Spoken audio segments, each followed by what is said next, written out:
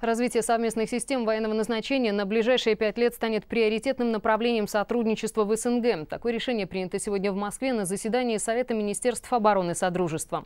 Рост угрозы терроризма заставляет корректировать уже принятую до 2020 года концепцию военного сотрудничества. Это касается в первую очередь объединенной системы противовоздушной обороны, использования единых подходов в контроле за радиационной, химической и биологической обстановкой.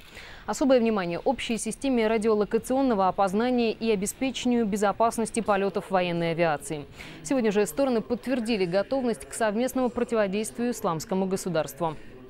Сегодняшняя встреча проходит на фоне усиливающейся экспансии международного терроризма. События последнего времени в болевых точках планеты свидетельствуют о том, что это реальная угроза, в том числе для государств Содружества.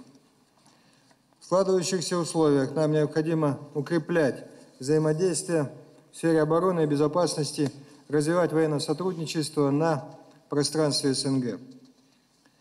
Формация это министров обороны стран Содружества позволяет успешно решать эти задачи на основе партнерских отношений. Всего министры рассмотрели около 20 вопросов, в том числе достигли договоренности о разработке проекта концепции воздушно-космической обороны СНГ.